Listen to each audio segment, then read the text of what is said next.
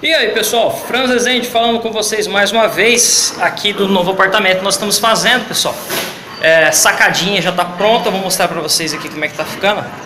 Sacadinha. Aí, Show de bola. Sacadinha pessoal, está sendo feito com esse revestimento aqui ó. Porcelanato.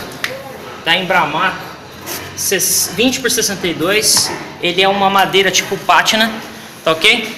Estamos usando aqui a argamassa da quartzolite como vocês podem ver.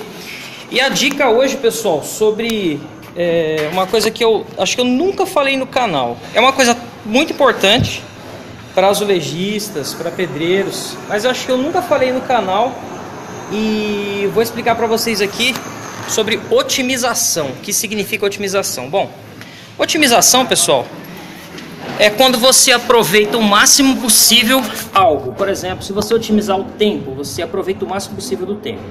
Nós vamos falar de otimização de materiais. Como otimizar os materiais? Aproveitar ao máximo os materiais para que você tenha pouco desperdício ou quase nenhum desperdício na obra.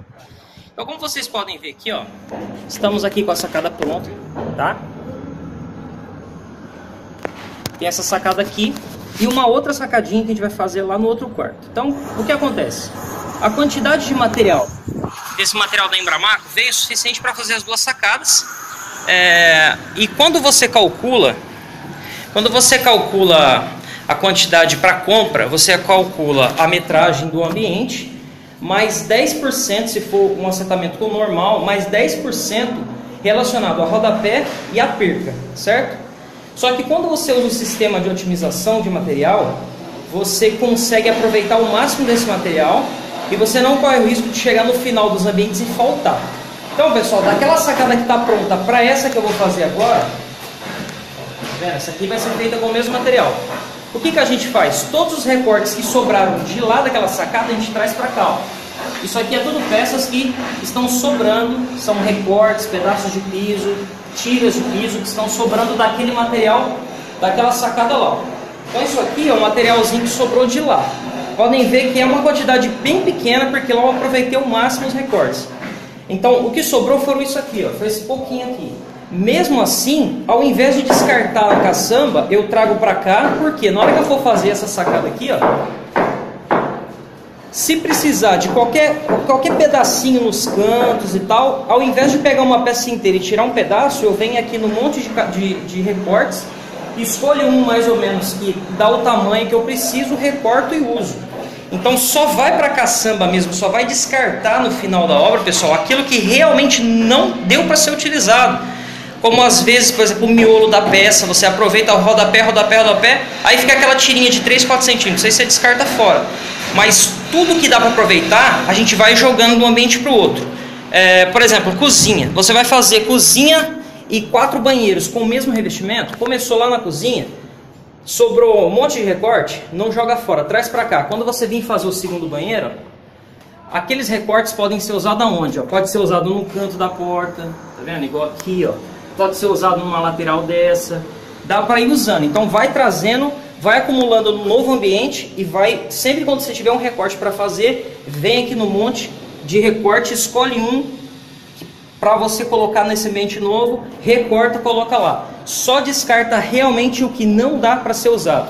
Então só vai para caçamba depois que você fez o ambiente todinho, com todos os recortes, sentou todos os rodapés ou fez a saia.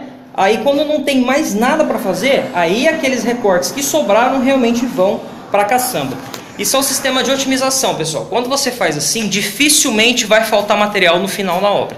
Por quê? Porque você foi usando, usando, usando, realmente aquilo é a sobra da sobra. Então não vai faltar. Beleza? Fica a dica aí. Nunca jogue material fora antes de finalizar os ambientes.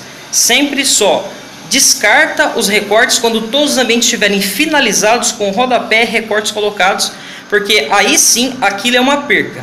Aquilo ali não dá para aproveitar mesmo. Caso contrário, vai usando, vai levando de um ambiente para o outro onde você tem que usar. Beleza, pessoal? Fica aí mais uma dica do canal Azulejista para você, que é azulejista profissional. Ou é, pedreiro também, que, que trabalha com acabamento. Se você, pessoal, quer aprender as técnicas que eu uso aqui em Rio Preto, nas minhas obras, com a minha equipe, todas as dicas, toda a parte teórica e prática do meu trabalho, entra na descrição desse vídeo, o curso O Azulejista é para você. Tanto você que quer fazer seu trabalho na sua própria casa e economizar uma grana, mesmo que não tenha experiência, pessoal, muitos alunos meus que eram é, de outras áreas, que nunca trabalharam em construção, conseguiram fazer seus trabalhos, mandaram os vídeos para mim, esses vídeos estão no canal, é só procurar que vocês vão encontrar os meus alunos mandando os vídeos para mim. Se você é profissional da área já, pedreiro, quer se especializar, vem com nós. Se você já é azulejista, com pouca experiência, quer pegar um pouco mais de bagagem teórica, um pouco mais de conhecimentos aprimorados, vem com a gente também. Esse mês de dezembro, pessoal, estamos com, com promoção no curso, R$ 199,00, curso completo. É só chegar, entra em contato comigo pelo WhatsApp, beleza? Mais uma vez agradecemos aí, curta, compartilhe os vídeos, deixe seus comentários, novos comentários estão numa nova matéria. Valeu, galera, um abraço, fui!